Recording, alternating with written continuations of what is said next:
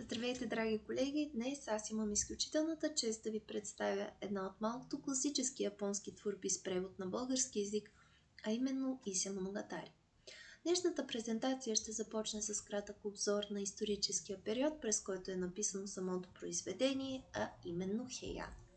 Хеян започва през 794 година и продължава до 1185 година, като за тези близо 4 века е присъща една мирна обстановка, която се превръща в благоприятна почва за развитието на японската култура във всичките й направления. Няма как да не споменем, че до този момент изключително силно е китайското влияние на ежедневието на японеца, над неговото мислене и философия. През Хеян обаче а, имаме опит за силното и ограничаване, с което а, японското общество има времето да асимилира натрупаната информация и да я видоизмени в нещо уникално за а, себе си. И така се заражда един култ към красотата, а, чието виж изказ е любовта.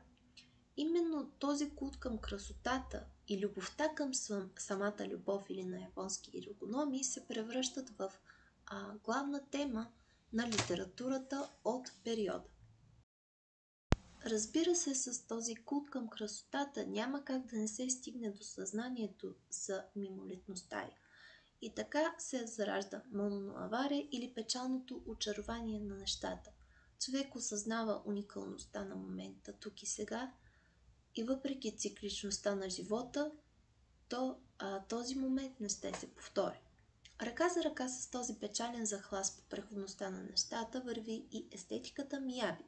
Мияби в превод означава елегантност и изтънченост, ам, и освен естетика е идеал към вътрешната красота, изразена чрез изтънчен маниер и реч.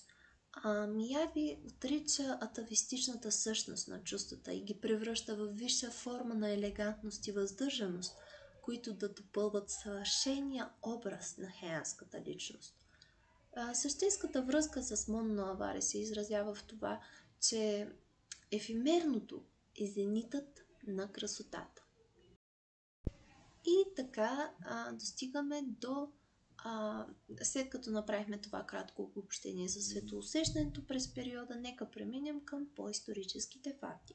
Както вече споменахме, а, има едно ограничаване на китайското влияние, което налага появата на собствена писменост и така се създава кана. А, китайският език все още се използва в а, ежедневието, но има по-скоро бюрократичен характер и а, с него се пишат хроники, официални документи и така нататък, докато кана а, извоюва своята роля като литературната писменост. И с тази поява на кана а, силно се насърчава а, съчиняването на поезията, тъй като вече а, няма нуждата от а, едни дълги, сложни справки с китайски речници относно иероглифи, които да съвпадат, а, да съвпадат звуково а, или да допълват а, допълнително а, значението на самата поезия чрез значението на отделните иероглифи. И за това все по все повече хора започват да съчиняват поезия. А, обаче, тъй като а, вече имаме една а, утвърдила се кодова система, която а, ползва китайската символика, китайските изразни средства и китайските метафори, то обикновеният човек няма как да знае за тях, освен ако допреди това не е имал някакъв досек с китайската култура, поради което и а, литературата започва да а, битува а, главно в средата на а, дворцовата аристокрация. И така, за, за съжаление, този висок контекст на културата не позволява на а, обикновеното население да се наслади на литературата в а, пълната и красота и значимост. И така, а, преминаваме към едно доста известно име от периода, именно това на а, родът Фудживара. Какво знаем за рода Фудживара? А, ами Фудживара имат изключителна а, голяма мощ през периода и едва ли не а, истинската власт е в техни ръце поради династичните бракове, които те сключват. Именно заради тези династични бракове а, няма как да не споменем политическата, социалната и културната важност на придворните дами и наложниците от труда. А, това прави сградите, където живеят а, наложниците или така наречените кокю, които а, виждаме на слайда, а, своеобразни огнища на изкуството и културата. Техните пишно декорирани покои а, се разпространява живописта върху паравани бьобо, на която присъстват японски поеми.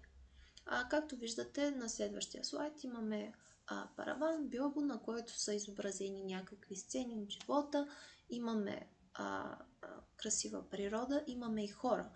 И така м- тази поезия, а, вака, която е изконно японската и най-разпространена нейна форма е петстишието танка, м- започва да възниква в тези среди, като дава а, един вид контекст на тези картини.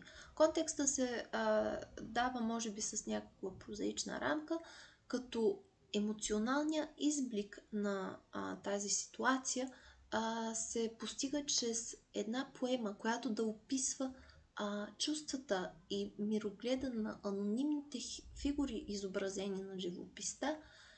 И така може да търсим а, генезиса на, а, на ползването на а, персонажи като една жена и един мъж в, а, точно в а, тази живопис върху а, парабани, тъй като поезията е съчинявана за да опише техните чувства, но ние не знаем кои са. Обаче, чрез поезията ние а, от някакви сенки, анонимни сенки, ги чувстваме като хора от плът и кръв. Това е тясно свързано с а, м, появата на а, прозопоетичните жанрове, а, към които, а, към прозопоетичния жанр, към който принадлежи и се моногатари или именно Ута моногатари. Като ще разгледаме малко повече за това как се стига до а, възникването на този жанр. Ще започнем с а, поводите за, превръщ... за съчиняване на вака.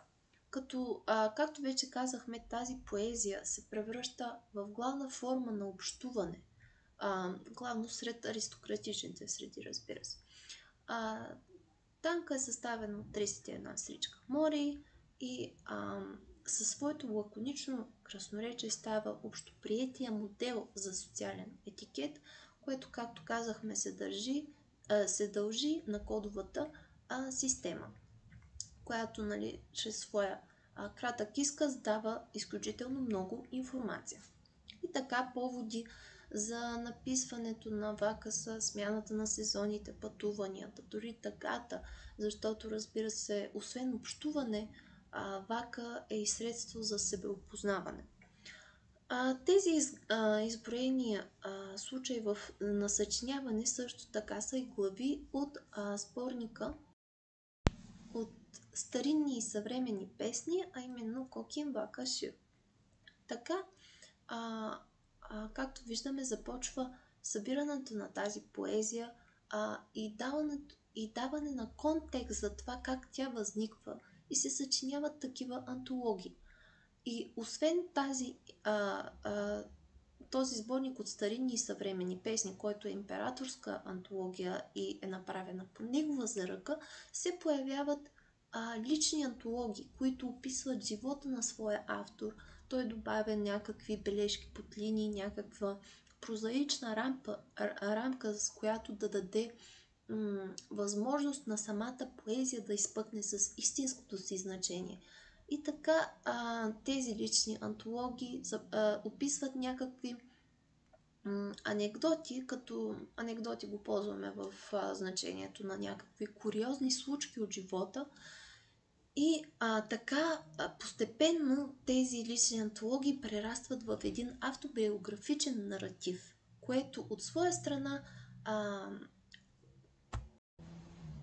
дава а, начало на прозо-поетичен жанр, в който имаме пълна симбиоза между проза и поезия. И за да обобщим казаното до момента, Исе Моногатари принадлежи към жанра Ута Моногатари.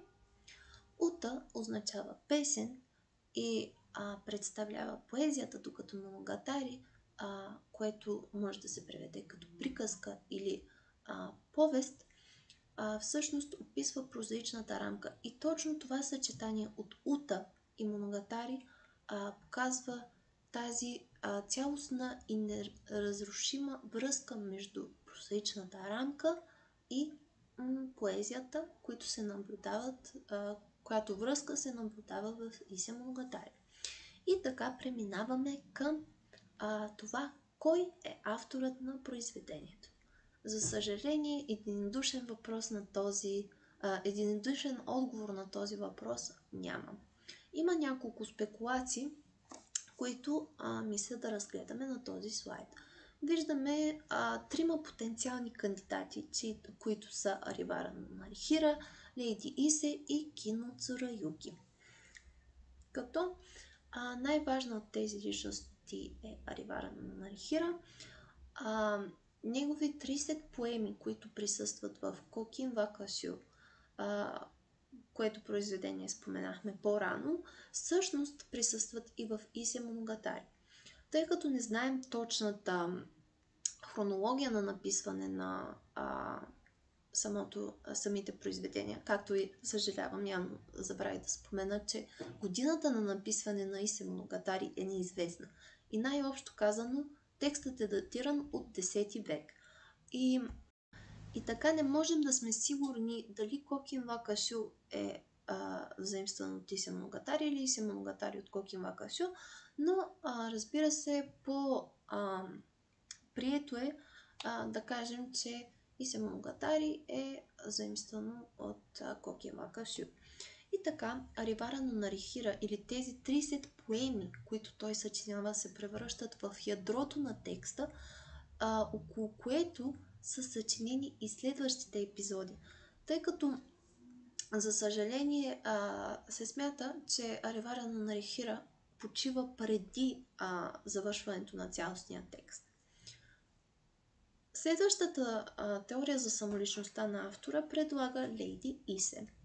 Лейди Исе е дворцова дама и както споменахме, дворцовите дами се а, занимават усилено с писането на поезия и използват похвата на един мъж и една жена, а, който също а, е ползван и в Исемоногатари. Освен това, друг, което може да свързва а, Лейди Исе за, като потенциален автор на произведението е, че заглавието може да се преведе и като приказка за Лейди Исе или по-скоро като м- някаква повест за самата нея.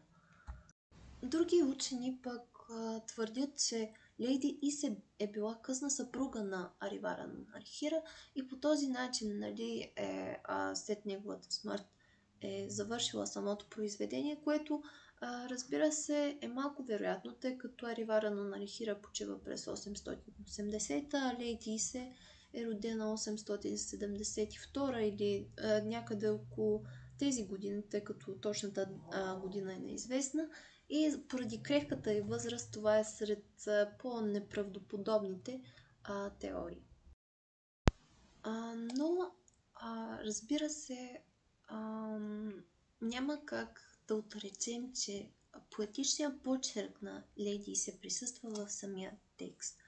И а, пред, е предполагаема някаква а, редакция или дори написването на Исе от обкръжението на оттеглилия се император Уда, чиято наложница е била Лейдисе и по този начин е имала някакъв досек с а, текста. Третия ни кандидат е а, Киноцура Илки, който заедно с големия му принос за написването на а, Кокин Вакасю, а, той е бил нещо като главен редактор, който е компилирал самите а, поеми. А, някои изследователи намират доста стилистични а, прилики с написаните поеми от самия Цураюки а, и тези в Исе Моногатари, като, а, както казахме, той компилира Кокен Вакашю и написва предговора на антологията, а, където задава стила на Кокен Вакашю, който от своя страна задава и стила на цялата хянска поетична традиция или това е деликатен баланс, отбликаща емоция с въздържан завършък от креативност и намек, а лаконичност и чувственост. Разбира се, ам, сред а, факторите, които правят а, кино Цураюки подходящ а, кандидат са това, че личната му колекция има а, доста прилики, а, стилистични прилики с а, Исе Моногатари. А, разбира се, както казахме, а, по-голямо внимание ще а, обърнем на Аривара на Нарихира и както виждаме на следващия слайд, а, той е роден 830 година, 825 година и живее до 880 и а, съм извадила 4 описания от Сандай Дзицуроку, което е, а, може да се преведе като хроники на Трите царства, където той бива описан като красив и елегантен мъж, което от своя страна трябва да значи, че той има една изключителна външност, тъй като в а, хроники от подобен вид не биват споменавани а, физически характеристики с себеугоднически нрав, което може да значи, че а, той е имал м- м- влечение както към жени, така и към мъже, липса на китайска езикова и литературна компетентност, което озадачава а, учените, тъй като той а, е бил бюрократ. А, а, може би е по-уместно да спомена малко повече за а, самия му живот преди тези а, описания.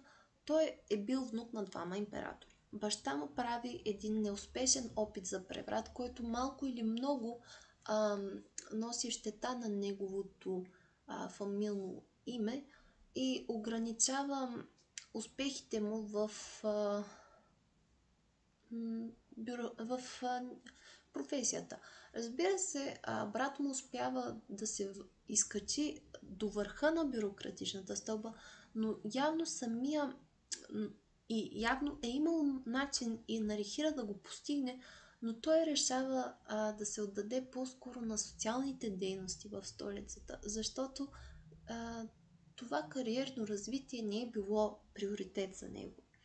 И както казах, той, той е работил като бюрократ и точно тази липса на китайска езикова и литературна компетентност а, озадачава учените, тъй като, тъй като характера на неговата работа изисква използването на китайския език.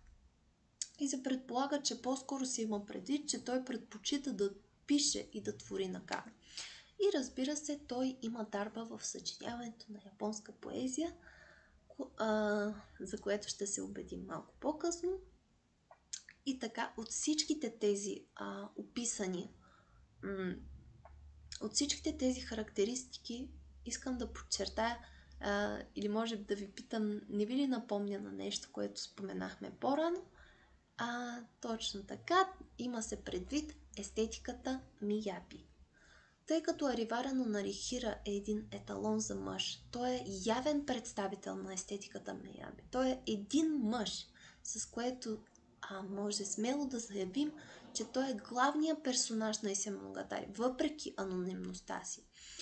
И а, от тук и теорията за една сюжетна линия в самото произведение, въпреки че то е съставено от отделни епизоди, която сюжетна линия започва с. А, а, която започва с първите любовни трепети на млад мъж, а, който по-късно се влюбва в Фудживара на Такайко, бъдещата съпруга на император Сейба, която е била пазена чиста за него, за него и това се превръща в огромен политически скандал, който всъщност е описан и в Олкагами. А, и, като, и така Нарихира успява да я навестява тайно, дори се опитва да я похити, Но и след това, разбира се, този опит е неуспешен и е принуден да напусне столицата, като по време на странстванията си продължават неговите любовни авантюри, размайната на поезии с а, различни дами и когато се връща от изгнанието си е провъзгласен за императорски ловец. Пребивава за кратко в Исе, където има афера с жицата от храма, която афера е описана в Етюд 69 и Обратно в столицата той започва служба при принц Коретака, който бил изгубил правото си за трона и на преклонна възраст Аривара започва да съставя поеми за неволите на живота и сюжетната линия приключва с смъртта. Което смятам да преминем на, а, над самия текст, а именно жанра, композицията и заглавието. Както вече споменахме, жанровата му принадлежност е Ута Монгатари. Самото произведение се състои от 125 епизода, които на български са преведени, преведени като етюди, за да покажат мелодичността на а, японския език, като в тези 125 епизода имаме а, 200, общо 209 поеми а, вака, като, а, като под формата на танка, които са 5 стишия с а, ритмичност от 5-7-5-7-7 с рички мори. Вече казахме, а, имаме а, една прозаична рамка и в, още в първия етюд може да говорим за а, три елемента на всеки епизод. Това са любовно-поетичната ситуация, поетичната, кое, която, както казахме, е прозаичната част, поетичната реакция, която е същинската поема и оценъчен коментар, кое, който също спада към м, прозаичната част и се явява тогава като един вид морален компас, когато има несъпоставимост между поетичната любовно-поетичната ситуация и поетичната реакция и страни от а, наложените естетика и светоусещане. Освен това, имаме няколко теории за заглавието на произведението. Както вече споменахме, че тя носи, а, разказва за творчеството на Лейди Исе и носи нейното име. Другата е, че в изписването на а, името на произведението се ползват иероглифите и за жена и се за мъж, които се срещат в Нихон Шоки. Или това е а, текст за митологичното, който вече разгледахме за митологичното начало на Япония. И а, самия тек, текст символизира единството на мъжа и жената. И а, следващата теория, че а, текста е, т.е. че заглавието а, е а, е базирано на израза Исея Хилга. като генезиса на самата фраза е свързана с историята на двама мъже, единият от Тисия, другият от Хюга, които умират по едно и също време и чието души се разменят. И така, а на български еквивалент би бил с краката нагоре и въпреки, че тази творба не съдържа измислици или лъжи, разменя настояще и минало, минало и настояще тя ще прибавя днешни думи в поеми от миналото и думи от миналото в сегашни поеми, като описва нещата по нелогичен начин и за това е наслована и се Моногадари. Но за целите на презентацията и на курсовата а, а, и на писмената разработка смятам да се спра на четвъртата теория, че и се е просто а, топоним и моногатари а, с моногатари се има предвид изящна словесност. Преминаваме към следващия а, слайд, в който ще разгледаме персонажната система. Както вече казахме, за главен персонаж може да считаме Аривара на, Нарихира или мъж по негово подобие, защото а, а, в а, в един от епизодите имаме мъж описан с а, по а, с простолюдно потекло, което не може да се отнася към Аривара на Нархира и затова смятаме, че главният персонаж е мъж по негово а, подобие и а, вещ а, в естетиката Амияби. Затова един мъж и една жена. В самия слайд съм подбрала един пример от, сюж... от текста, който мисля, че доста добре описва а, както техните взаимоотношения, така и а, личността, която, им, която творбата цели да а, развие у хората. И а, прозаичната рамка, както казахме, е, е, е в 69-ти етюд, който разказва за мъж, който скоро ще си тръгне, защото а, нали, а, го а, го а, зове а, неговата работа. И така, преди той да си тръгне, жената написва поемата Пътникът прикосява заливите без да се намокри, но клетва дал е и той я дописва, пак ще иска да се върне към превала на срещите. И така можем да видим колко е силна любовта между двата персонажа и как без значение физическата дистанция между тях е достатъчно те да се обичат, за да може душите им да останат заедно.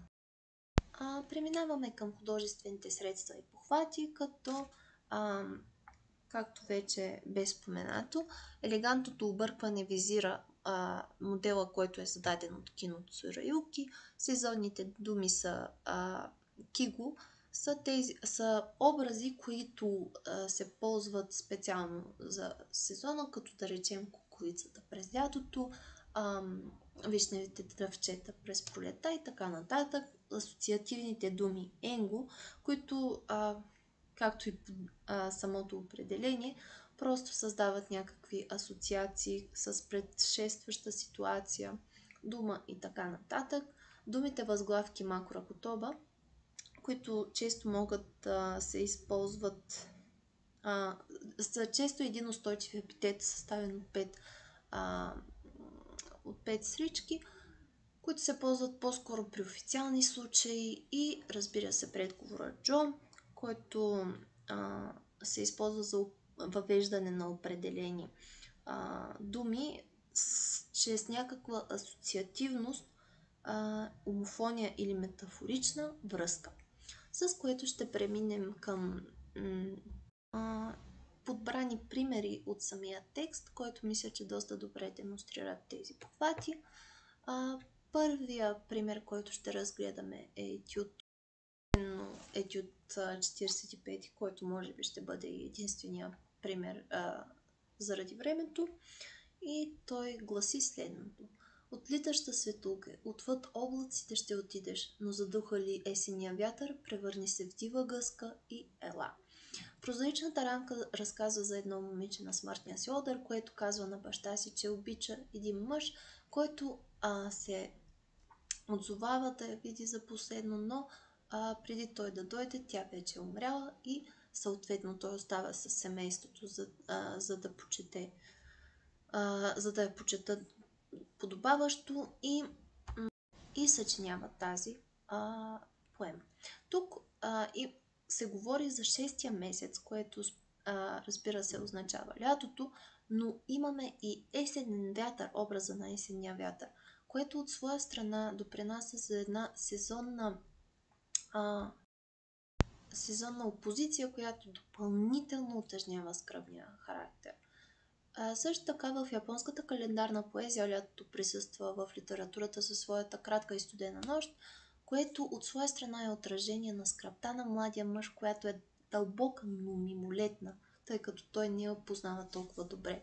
Освен това, светулките са летен образ или киго, а, който се явява като един вид а, водач към отвъдното. Освен това, дивата гъска олицетворява мъртвото момиче, като този образ се среща със същата функция и в други поеми на Нарихира и така лирическия герой отправя едно фантастично желание девойката да се върне обратно при семейството. И тъй като няма да имаме време за другите два примера, ще преминем към ам, влиянието и а, посланието на Ися Моногатари.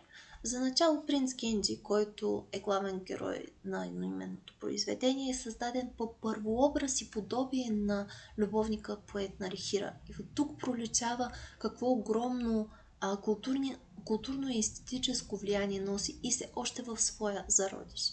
А, по-нататък във времето това влияние расте в сценичното изкуство, но се появяват пиеси, които са вдъхновени от лирични, лиричните епизоди на Исе. Изуцо, например, е постановка базирана на етюд 23 от произведението и разказва за Нарихира и тъгата на съпругата му а, от неговите изневери. Друга постановка е реката Сумида, базирана на етюди а, 7, 8 и 9. Освен а, сценично изкуство, създават се картини, иллюстриращи сцени от Тисе като Уцуно Яма или планината Уцел, присъстваща в етюд 9. И за финал, нека а, обобщим нещата казани в момента. А, Исе е повратна точка в развитието на японската култура. Както казахме, Хеян е от естетиката Мияви, а, която налага една отмерена красота дори на нещо неподвластно на контрол като чувствата. Съпътстващото моно на Аваре също поставя акцент над красивото, макар и то да е съпроводено от печалната мисъл за ефемерността на живота. И заради тези наложени модели, рядко се срещат текстове, които странят от а, хианската литературна парадигма. И м- затова смятам, че Ися Моногатари а, може да се нарече една съвършена аномалия в естетическата хармония. А, аномалия не защото нарушава тези а, модели, а напротив, просто довежда емоционалния патос до нови висини, докато се умява да запази и да спази а, наложеното. Аривара на Нарихира е плашещ в дълбочината и силата на чувствата си и кара читателя да купне за любовта, която е писана в Исе. Произведението има собствена гравитация, с която притегля читателя, дава изказ на бушуващите му чувства и успява да му покаже, че любовта крепи света.